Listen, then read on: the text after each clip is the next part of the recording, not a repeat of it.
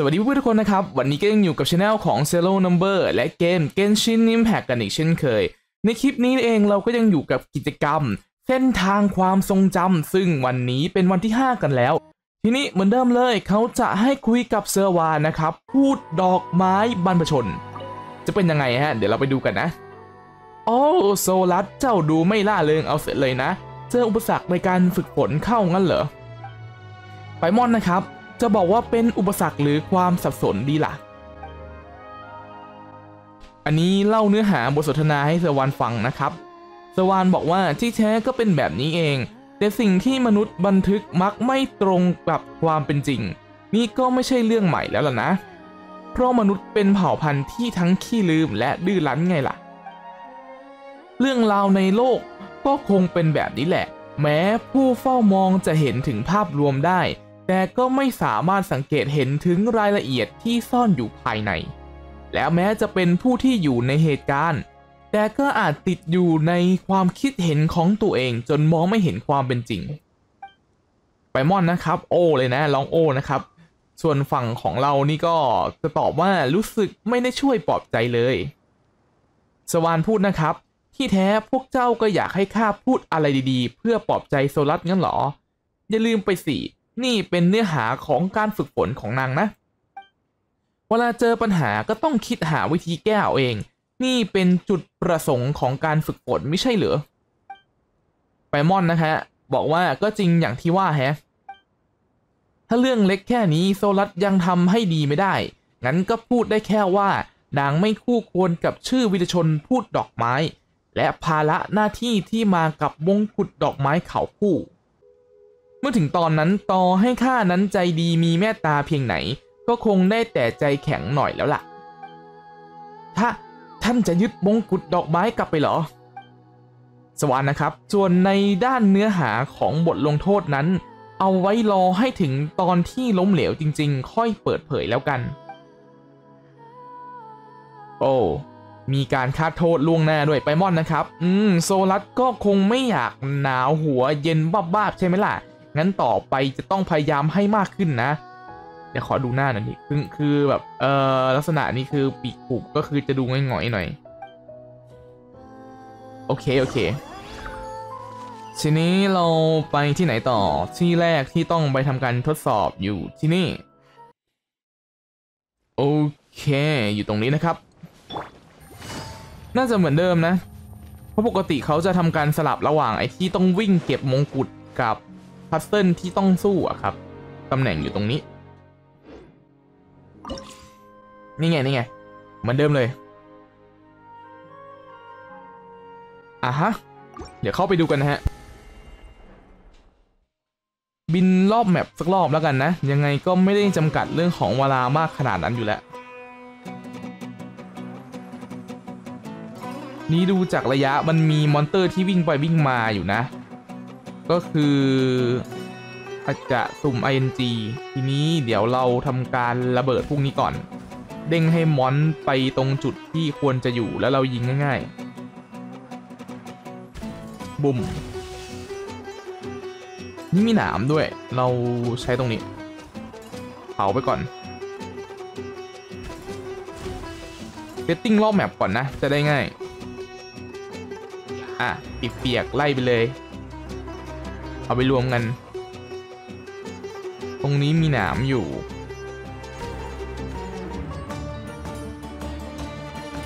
ต้องระเบิดกล่องกี่อันเนี่ยสิบห้ายี่สิบโอเคยี่สิบอัน กล่องพอดีแล้ว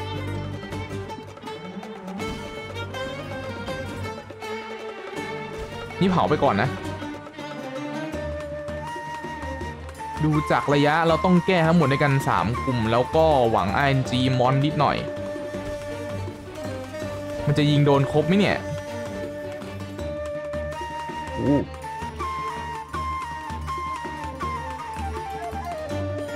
อะ ลองดู น่าต้องหลายทีนะครับ ถ้าเป็นอย่างเงี้ย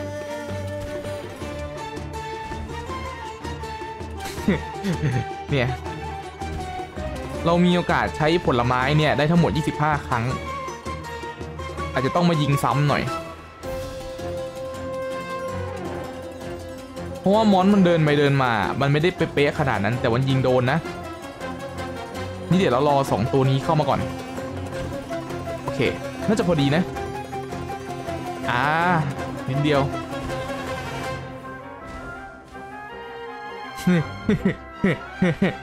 โอเค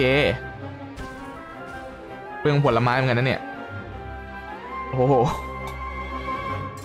อะเรารอนิดนึงเรารอนิดนึงเดี๋ยวา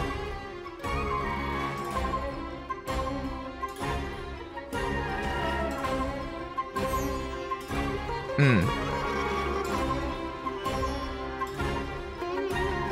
ว่าแต่ทำไมมันขึ้นว่าเราขับไล่ไป8ทับ14แหละผมว่ามันน่าจะอยู่แค่โซนนี้หรือเปล่า หรือว่ามีนัดสองเหรอ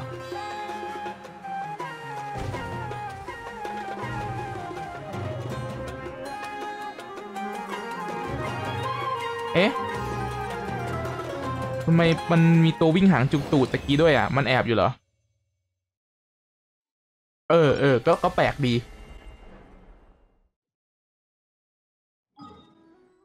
ทีนี้ไปที่ต่อไป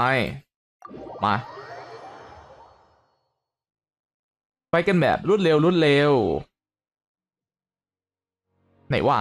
อยู่นี่นะครับ ตรงนี้เป็นการตามหาความทรงจำน่าจะเหมือนเดิมเลย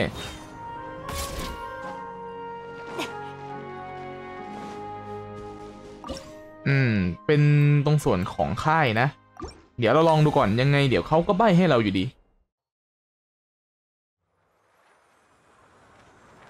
ตรงนะ ที่ดูเหมือนน่าจะนี่แหละ แต่ว่า อันนี้ไง มุมต่ำ ลงมาหน่อย ทีนี้เราก็กดตัวที่เหมือนเดิม โบ๊ะเรียบร้อยครับ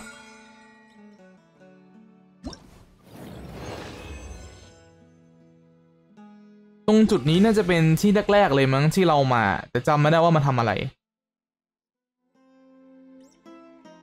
โซลัสนะครับ ทั้งๆทที่เห็นวิวทิวทัศน์นี้จนชินแล้ว แต่ตอนนี้ความรู้สึกมันช่างซับซ้อนเหลือเกิน เออไป ไปมอนนะครับอันนี้พูดนะ เออ ลองคิดดูในแง่ดีสิ นี่แสดงว่าโซลัสเติบโตขึ้นจากก่อนหน้านี้แล้วไม่ใช่เหรอ โซลัสนะครับ มันเป็นการเติบโตหรือว่าการถดถอยลงแบบไม่รู้ตัวกันแน่นะ ไปมอนนะครับพึกเหิมหน่อยสิโซลัสท่าทางท้อแท้แบบนี้ไม่สมกับเป็นเธอเลยสักนิด ปกติจะแขวะนะจริงสิ ในเมื่อมาถึงที่นี่แล้ว งั้นโซลัสก็เล่าประวัติแรกเริ่มของกลุ่มวิมตินิยมให้เราฟังหน่อยเป็นไง ถึงตอนนี้พวกเขาจะมีสภาพนี้ แต่ตอนที่ก่อตั้งขึ้น คงมีจุดที่ดีบ้างแหละมั้ง ไม่งั้นเซวานก็คงไม่ช่วยพวกเขา และโซลัสก็คงไม่ถูกพวกเขาดึงดูดความสนใจหรอกใช่ไหมล่ะ โซลัสนะครับก็ได้ ในเมื่อพวกเจ้าอยากฟังแล้วก็ แต่พวกเจ้าก็รู้ข้าถือกำเนิดขึ้นหลังจากที่กลุ่มวิมตินิยมก่อตั้งขึ้น เพราะฉะนั้นเรื่องที่เกิดขึ้นก่อนหน้านั้นข้าก็ฟังมาอีกทีเหมือนกัน ว่ากันว่าก่อนที่ทุกอย่างจะเกิดขึ้น มีกลุ่มตัวแทนอันขาวบริสุทธิ์ได้พยายามที่จะแพร่กระจายข่าวภัยพิบัติซึ่งกำลังจะเกิดขึ้น แต่แค่แพร่กระจายข่าวไม่สามารถหยุดยั้งภัยพิบัติได้ ผ่านไปไม่นานคลื่นแห่งความมืดก็ได้ถาโถมเต็มไปทั้งแผ่นดินสรรพสิ่งล้วนหวาดกลัวไร้หนทาง เหมือนผลึกของเซเตกเวนัสที่เราเห็นก่อนหน้านี้ ขณะสิ่งมีชีวิตที่แข็งแกร่งขนาดนั้นยังสิ้นชีพไปในภัยพิบัติครั้งเริ่มแรกสุดเลย เมื่อเทียบกันแล้วต่อให้สิ่งมีชีวิตอ่อนแออย่างมนุษย์วิ่งหนีกระเจิงไป ก็ไม่ใช่เรื่องที่ควรถูกตำหนิหรอกนะทว่าก็มีคนบางกลุ่มที่วิ่งกระโจนเข้าหาศูนย์กลางของภัยพิบัติเช่นกัน คนพวกนั้นคือกลุ่มวิมตินิยมในตอนแรกสุดเหรอ อันนี้เป็นม่อนถามนะครับ โซลัสนะครับ อืม คนที่เป็นหัวหน้าคือ นากาจูน่าเหรอ ตอนแรกพวกเขาก็เป็นเพียงนักวิชาการในป่าลึก แต่กลับต้องมาปักหลักอยู่ที่นี่ เพื่อทำให้ภัยพิบัติที่เหลือสงบลง จริงสิ ยังมีคนผมทองอีกคน ถึงแม้ท่านผู้อาโสจะพูดถึงเขาไม่มาก แต่อย่างน้อยก็น่าจะเป็นคนที่น่าสนใจนะ อือฮึไปมอนนะครับ อืม น่าเสียดายที่เป็นคนเมื่อหลายร้อยปีก่อน ไม่งั้นก็อยากลองให้นักเดินทางได้เจอกับอีกฝ่ายดูเลยแฮะ จะได้แข่งกันว่า ใครน่าสนใจกว่ากัน เราตอบข้อล่างแล้วกันนะฮะ งั้นฉันจะต้องชนะแน่เลยสุรัตพูดนะครับข้าจะเล่าต่อแล้วนะ หลังจากที่ข้าถือกำเนิดขึ้น พระพิบัติที่หลงเหลือก็ถูกจัดการเกือบหมดแล้ว ราะงั้นก็ไม่มีอะไรให้โซลัสได้ทำแล้วงั้นสิ อันนี้ไปม่อนพูดนะครับ โซลัสนะ อืม ใช่ว่าจะไม่มีอะไรทำเพราะไม่มีวันที่มนทินจะถูกชำระล้างจนหมดสิ้น เพียงแต่การเสียสละอันยิ่งใหญ่แบบวิหกศักดิ์สิทธิ์ซีเมิร์กไม่ใช่เรื่องที่จำเป็นอีกต่อไป อีกทั้งก่อนการมาถึงของข้า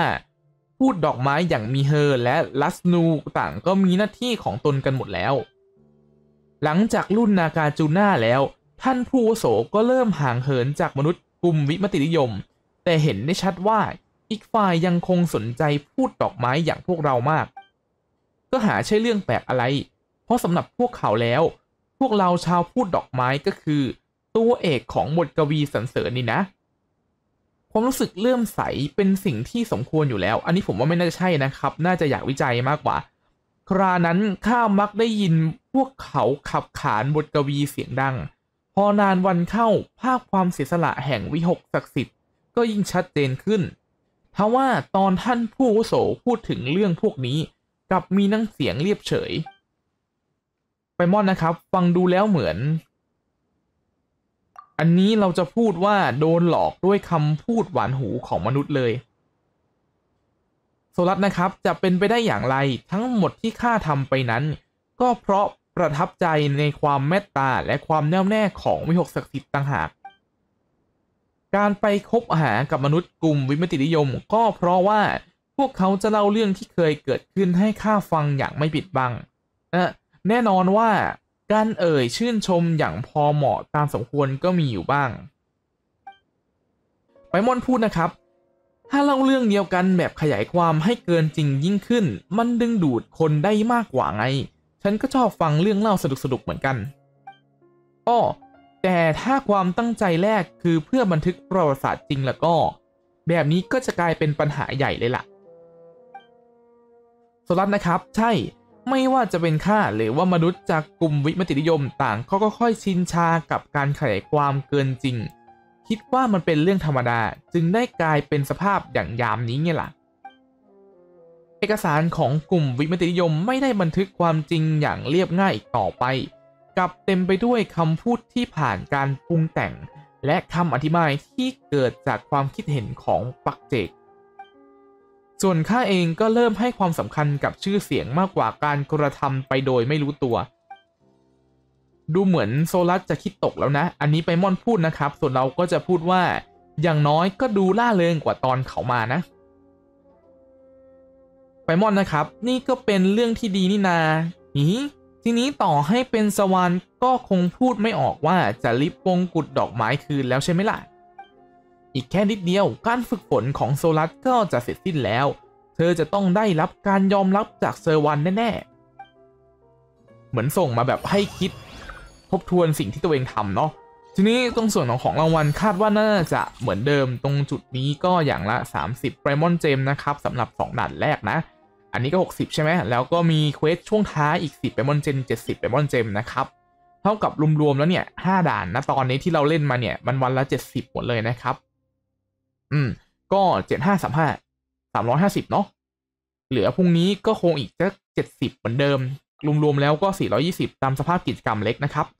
คลิปนี้ก็จะประมาณนี้นะครับ และถ้าเพื่อนๆชอบคลิปนี้ก็อย่าลืมกดไลค์ กดแชร์ กด subscribe และอย่าลืมกดกระดิ่งแจ้งเตือนเพื่อไม่พลาดคลิปดีๆด้วยล่ะ แล้วเจอกันใหม่คลิปหน้า see you next time my friend เจอกันนะครับ